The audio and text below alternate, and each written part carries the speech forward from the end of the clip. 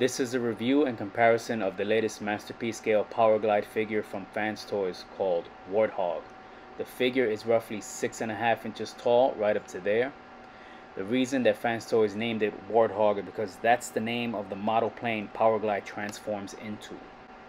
Here is a DX9 figure for comparison. It is a smaller figure than the Fans Toys.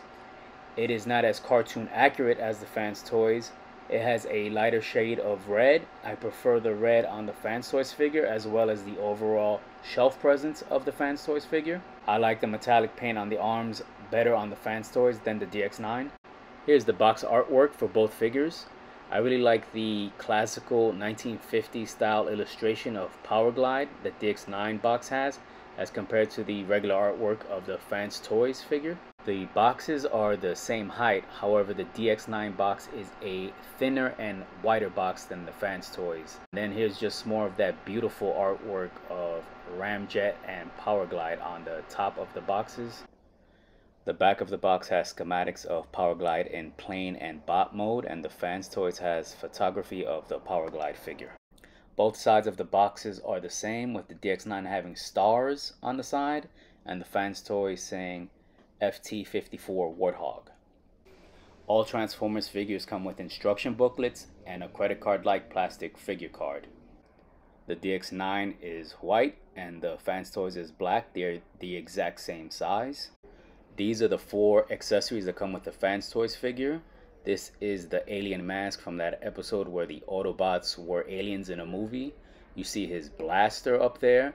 And then those two pieces are individual pieces that you connect to the figure to put on an independent flight stand, which I don't have. These are the DX9 accessories, which are very similar to the Fans Toys. There you have the DX9 flight stand base that says DX9 on it along with the pieces used to connect to the flight stand. There you have the blaster and the alien mask and the female figurine from that specific episode, The Girl Who Loved Power Glide. Uh, the figure itself doesn't have any articulation on it. It has a base so that the figure stands upright. Uh, that's a real nice touch that unfortunately Fans Toys did not copy. Now let's have a side-by-side -side comparison of the accessories. Here the Fans Toys blaster is more cartoon accurate with less molding and a different paint scheme. The Fans Toys mask is green and is more cartoon accurate than the DX9 and the smaller Fans Toys flight stand pieces compared to the DX9.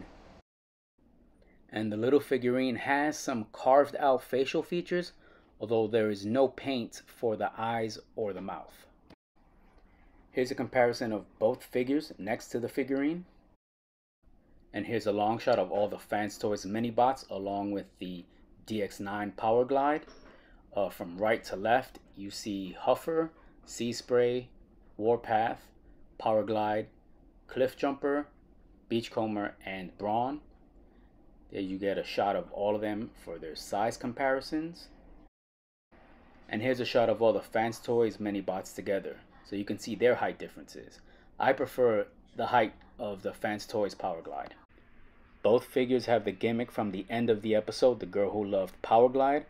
However, the Fans Toys figure has the cartoon accurate version. That's the way it looked in the actual episode.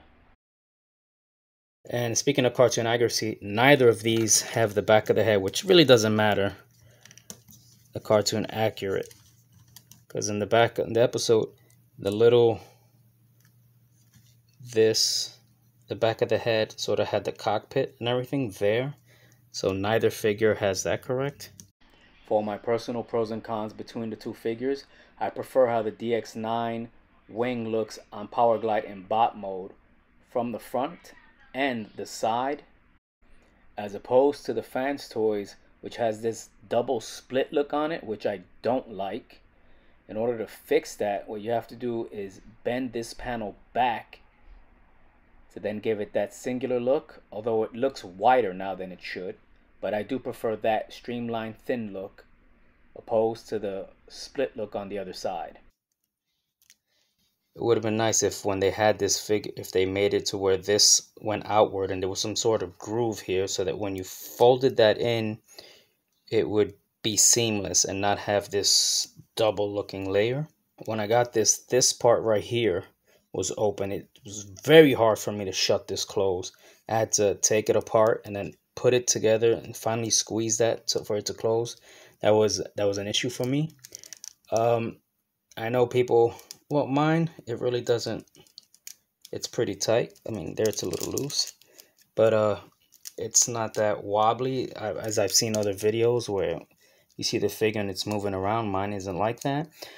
Uh, some people have issues with the uh, the waist, the knees, and the ankles. Colors, paint is nice. It's beautiful. So I do enjoy both figures, although I do like the Fans Toys better. It has the accuracy, the look and feel of a more quality toy. It looks more like the cartoon. It's heavier. It's painted nicely. Also, if you look at this from the side, it always the DX9 seems to feel like it's leaning back as to where the Fans Toys doesn't. To get the articulation for both of these here, have the head goes from side to side.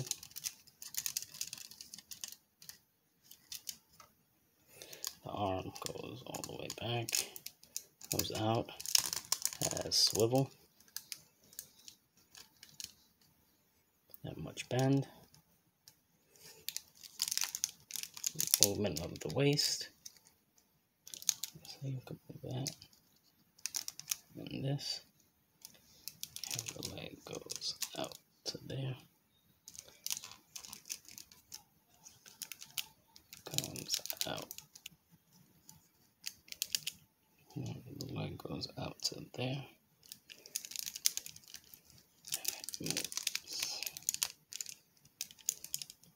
And it moves back to there.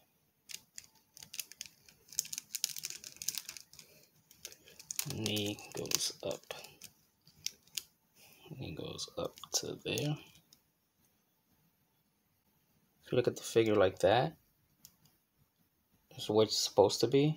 If you look at it from the side, see how the shins go in, marks going like that. So from the back, it looks like this, right?